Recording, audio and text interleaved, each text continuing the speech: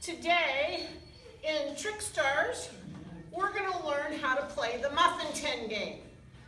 First, you need a muffin tin. If you don't recognize this, these are ones that you cook muffins in, in your kitchen. All right? I picked these up at the dollar store so I can have them just for the dogs. I've got one that's a sixer and one that's a twelver. We're gonna start with the six, it's just easier, okay? And the idea is we're gonna introduce the dog to the game and then we're gonna hide things. Jimmer, come, come, Jim. That's it, good boy. So the first thing we're gonna do is we're just gonna put some random cookies in the muffin tin. We're gonna sit it down, tell him find it, and he found the cookies. Pretty easy because they were all in there, right? Okay, now, here comes the fun part.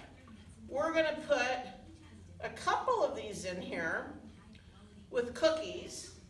And in this case, I'm using tennis balls. Okay, I've got just three here this time. Two of them have cookies under them, and one of them doesn't. The idea is they find the cookie under the ball. Now, some dogs that are really ball motivated will pick the dog whole ball up. Other ones will nose it or push it out of the way. Let's see what Jammer does today. Find it. Oh, he's moving those balls out of the way.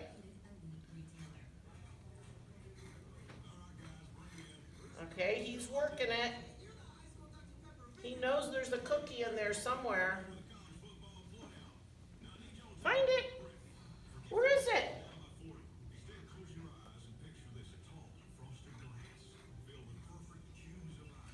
Sometimes you might help because this thing's moving around. Find it.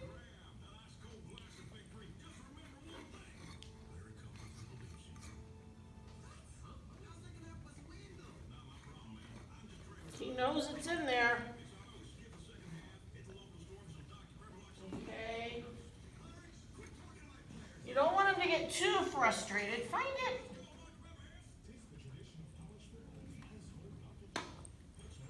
Did you get it? Where is it? You got it out. Where's the cookie? There it is. All right, good boy. So that's how the game starts. You don't want to make the dog work on it too long or too hard, okay? But they really have to think. Eventually, and we're going to bring a different dog out here. Okay, move. Okay, Bigfoot. All right. And we're going to try see what happens. I'm going to have a ball in every cup, but only one has treats under it.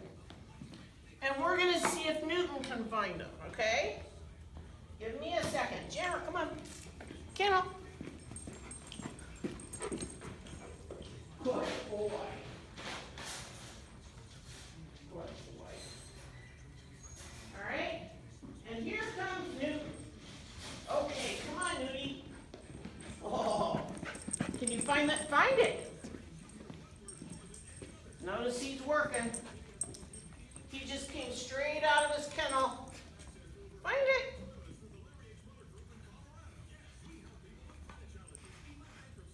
He picked up and moved the ball out of the way and got it. There was only one in there and he's already found it. Okay?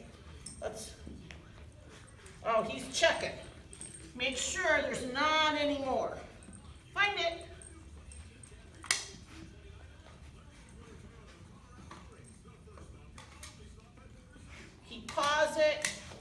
Touches it, he knows it's in there. I'm gonna try to help. Oh, he pushed two balls out of the way, not the right one. He's gonna get it. There, he picked it up and he found the tree.